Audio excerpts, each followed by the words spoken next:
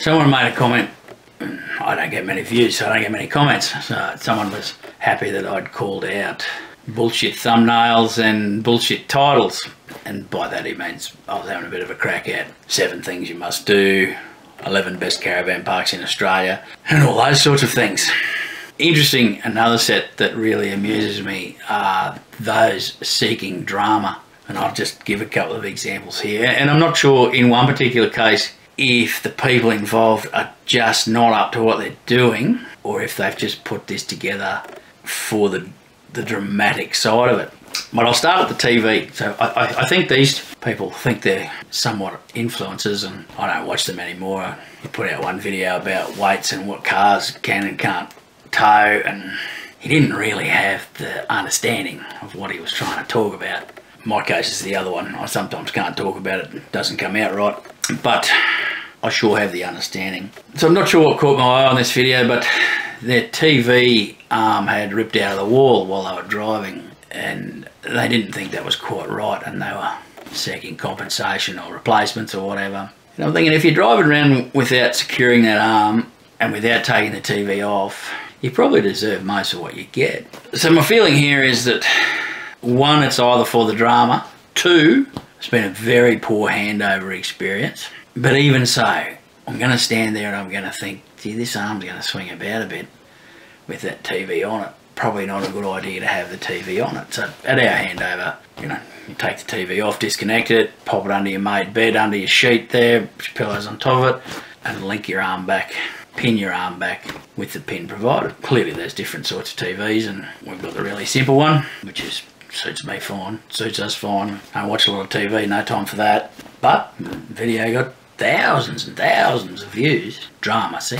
Drama. The other one was quite interesting, and again, I don't watch this bloke anymore either.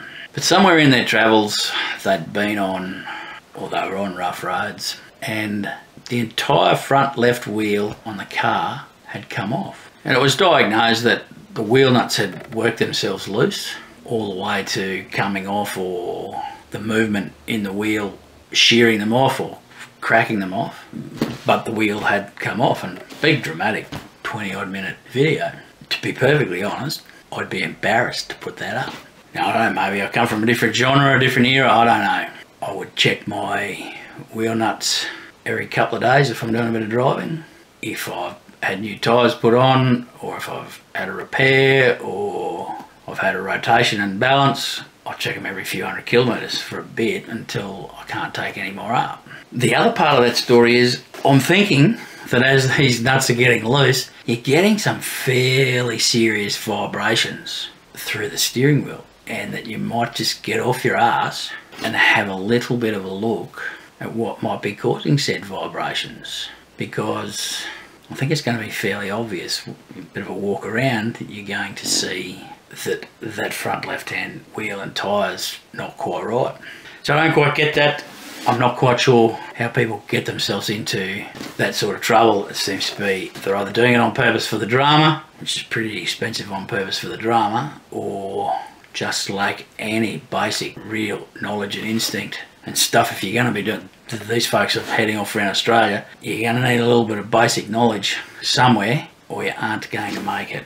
The other one is of course wow we bought a caravan we bought a car we hooked it up threw a boat on top and we got weighed and we're heavy. You know there's all sorts of fascinating pictures on the thumbnail and what do we do now? I think the thought process is quite a vast about face you need to be thinking about that part of what you're doing before someone else gets any of your dollars and it gives you the opportunity to uh, to decrease your expectations in what that vehicle can pull make a different purchase or increase your vehicle expectations and move up to I don't know F250 Chevy 2500 too much at stake to get caught on the other side and all of a sudden you're really wrong. And as I said, I, I like to do things standard, off the floor.